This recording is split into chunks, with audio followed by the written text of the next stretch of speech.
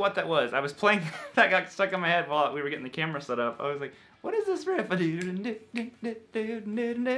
Anyways, that is totally not what we're here to talk about. We're here to talk about when should a beginner start getting pedals. Now, I did a video called uh, Pedals a Beginner Should Avoid. You can check that out if you want to. And I thought, you know, it'd be great to kind of accompany that with, you know, obviously do what you want. But um, I do think there are some, you know, kind of the key points to kind of hone in on whenever you're getting pedals, especially if you're a beginner, because, oh my god, there's so many pedals. There were a lot of pedals when I started playing guitar, but there's like 10 million more pedals now. So we're going to do all that kind of stuff. But this is not so much a lesson, but you can check out my free guitar course if you're feeling like it. That is linked down below. And uh, yo, let's just go ahead and jump into this one.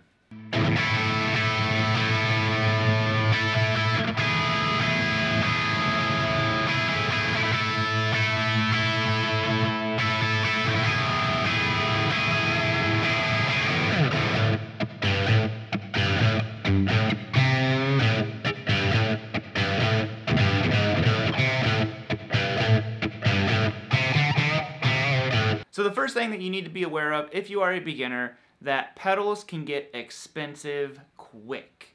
And even just buying one pedal can be expensive, especially if you uh, don't have a 9 volt adapter, or some pedals require uh, you know, a 12 volt adapter, and usually those pedals will come with the adapter, but sometimes they don't. You know, I, have I've seen situations where maybe if you buy one used, you don't have one. But you have to be aware that pedals on the surface seem affordable, and they are but it's kind of like going down a rabbit hole. You get one like, uh, you know, it's it's a hundred bucks, and you're like, okay, that's that's not the worst thing in the world. Well, before you know it, you've bought five one hundred dollar pedals, and you're like, did I just spend five hundred dollars on pedals? Yes, you did, and you're actually going to do that a lot, and um, especially if you run off of batteries, that can get really expensive. I definitely recommend some kind of power supply, but that's the other thing. Either you're going to have like you know, a million 9 volt adapters laying around, or you're going to buy a power supply. It's all very expensive. So just make sure that you can, uh, you know, afford it and really understand what's going to happen. Obviously, if you have the willpower to just get one pedal, then you're, you're better off than most of us. Now, the next phase that I want to talk about is the intro phase. And I'm, I'm saying get past the intro phase of guitar. Now, uh, I'm not saying you're that if you're the person who can only play intros to songs, because, well, gosh darn it, that's the the phase that I survive in. I just know the intros to songs. No, I'm talking about the actual beginning stages of getting comfortable doing some basic chord changes and stuff like that. Um, I don't recommend necessarily getting pedals for that. There's one rare situation where I would recommend it. I'm going to talk about it a little bit later on. But um, overall, make sure that you at least, you know, you, know the names of the strings, you can tune your guitar, you can play some basic chords, because otherwise you don't want to just be doing that and having pedals and stuff like that. Um, in the you know in the beginning, it should be all about learning how to play, not so much about how much gear you can get and stuff like that. I know it's easy to see all these pedals that look cool, all these amps, all these guitars, all that kind of stuff, but uh, I, I would just hold off. Get past that intro phase and where you can like maybe once you can play one song or something like that, then think about getting your pedal.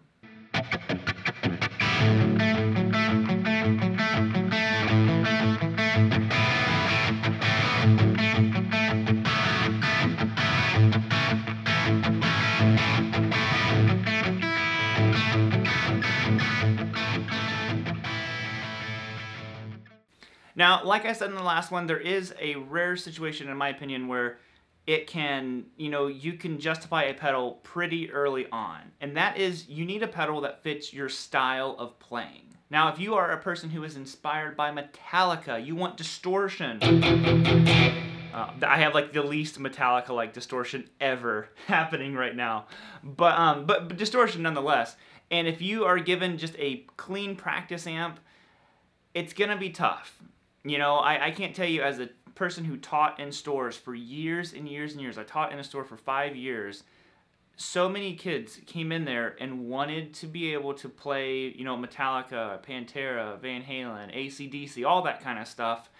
But their parents had them playing either acoustic or on like they would have like a strat or something like that but just a clean amp they didn't have any distortion and they would always come into the lesson and we're always hyped up about the lesson because I would have amps with distortion or you know a couple pedals in there or something, and they're like, "Man, my amp just doesn't do that," and they would bring their amp into me, and it would just be like literally a straight like Fender clean amp, and I would talk to the parents, and they were just like, "Yeah, we just want to wait and see if he's gonna stick with it." I'm like, "Ah, that makes it hard. That makes it tough." So if you're a person who is inspired by rock or just heavy distorted music, honestly, if you have a clean amp versus getting a whole new amp, try a distortion pedal. You know, I will throw that out there. Some people might disagree. You're more than welcome to, you know, post your comments and disagree with me. But I tell you what, man, it's hard to be inspired by something that doesn't sound like what you want to sound like. You know, regardless of the fact if you know what I mean sounds good or bad, good tone, bad tone, any of that kind of stuff. That's subjective, but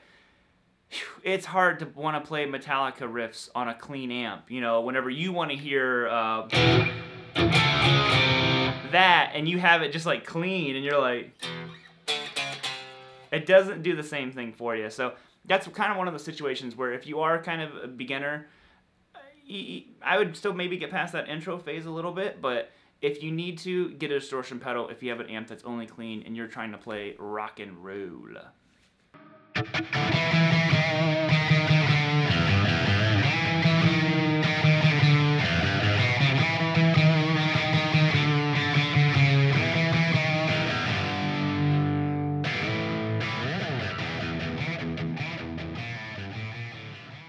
This one could be is again, I'm saying past that intro phase, you've gotten some stuff on your fingers. Maybe you're even starting to learn a little bit of scales and that kind of thing. And maybe you're just bored, just clean and distorted really isn't enough for you. Now this is where I recommend, uh, once you've got your feet, you know, your toes in the sand a little bit, uh, you can maybe venture into a multi-effects unit. You don't have to have the best of the best at this point or anything like that you can just have something that has lots of different sounds. Because you might, if, if you're like me, I always say I'm not a person, I think more of tones in terms of guitars. So if I'm like, oh, I need this kind of tone, I switch guitars. But like when it comes to like thinking of like, oh, I need a tremolo sound and stuff like that, I really, I'm not educated enough in that, you know, style of effects to truly know what I want. This is where a multi-effects unit really comes into play because I type in what I want. I'm like, I don't know, some kind of tremolo. And it gives me a list of different effects. So like I'm using an Axe-Fx, but you could get like an H9. I, these are kind of expensive, but there's lots of other units out there nowadays that you can do. And you can have it list in front of you, like the, what's HX Stomp? Is I think that's the Line 6 one. And it tells you the name, and you can see the effect that you're using. So like if I'm like, I don't really know what I want, uh, I just need some kind of tremolo. I mean, I could turn on a tremolo now and just kind of like figure it out.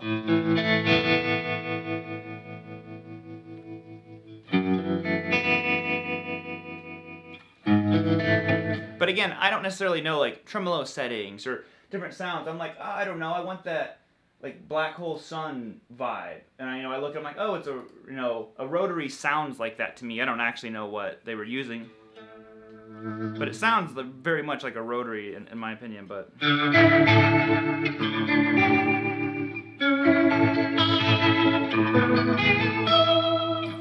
So like I said, my ears were always kind of tweaked more towards different guitars being different tones. So when it came to this kind of stuff, um, I was just not educated enough in it. So that's where multi-effects units came in because they could kind of like direct that ship for me. And I would be like, oh, I want this kind of sound. Or um, you know, like I said, you, you, get you have a lot of fun doing it because all of a sudden you're like, oh, if I do this and this, like this is like a multi-delay.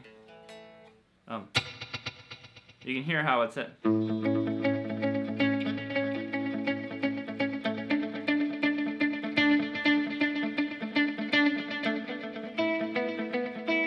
You know, whatever, you just kind of start messing around with it, and the effects can really inspire you to practice and play, and uh, most importantly, create music. So if you are kind of just bored with your sound and you know wanting to try some different stuff but don't really know what to try, I mean I started out on an RP50 was my second pedal, um, which by all means doesn't sound the best, but it was really inspiring and had a drum machine and all kinds of stuff in it. So you know maybe go that route.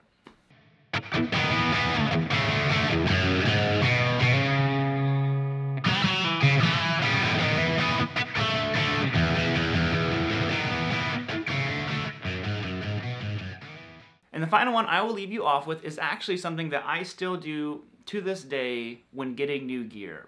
Is I feel like you should have to earn it. And I don't mean just saving up the money and stuff like that. I always try to set goals for myself. So if I like really want, like I wanted this guitar, you know, um, uh, very much so. I've wanted it for a long time. And when I finally decided to get it, I was like, okay, I need to like earn this guitar. What am I gonna do to earn the guitar? So I'm like, okay, I'm gonna make these many videos. I'm gonna do like a video a day for a month and stuff like that. Like it, it's just setting different goals for yourself. Like there's another guitar that I want, and for me, I'm like, you know what? I want that guitar a lot. I'm not getting it till I finish my beginner guitar course.